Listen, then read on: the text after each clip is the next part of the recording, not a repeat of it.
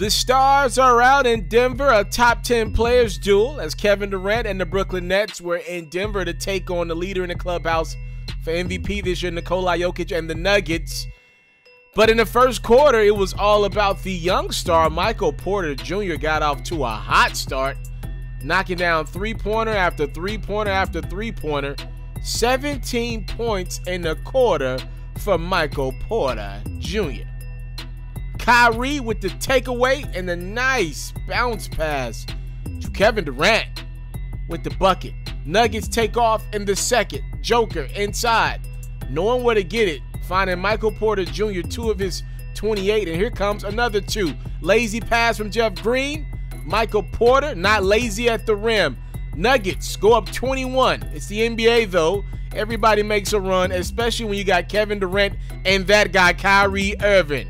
Irving with the three. Now Irving looking and finding Blake Griffin, who had 20 points, big third quarter from Blake, his first 20 point game as a net.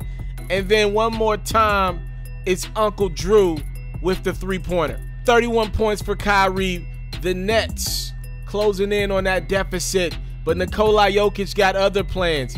He gets the bucket, 29.7 rebounds, 6 assists for the Joker. Fourth quarter, we go. It's Jeff Green down the lane, two of his 15. It's a three point game. Kai, Jeff, beautiful pass fake freezes the defenders, gets it to Kevin Durant, who knocks it down from three. Now Durant to Blake, who finds Joe Harris. And this three pointer gives the Nets the lead. They come all the way back down the stretch. Durant doing Durantula like things. 33 points, 11 boards, 7 assists for KD. Nets come back and win 125 to 119.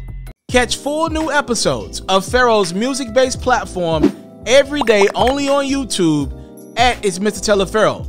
You can also find clips, updates, giveaways, and more on Facebook, Instagram, and Twitter, also at It's Mr. Taliaferro. For all basketball fans, make sure you tune in to Ferro's daily highlights, reports, and commentary on YouTube at Hoops Ferro and even more updates on Facebook, Instagram, and Twitter at Hoops Ferro as well.